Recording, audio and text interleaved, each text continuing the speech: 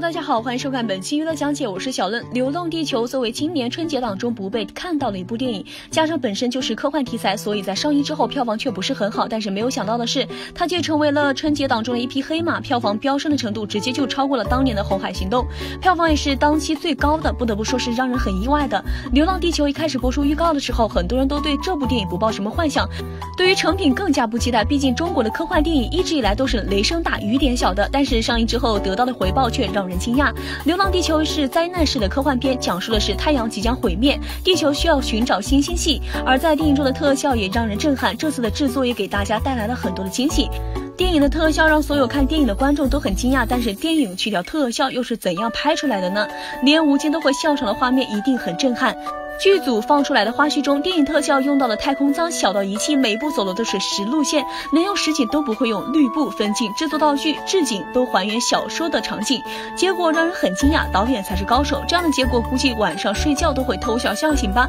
对此你们有什么样的看法呢？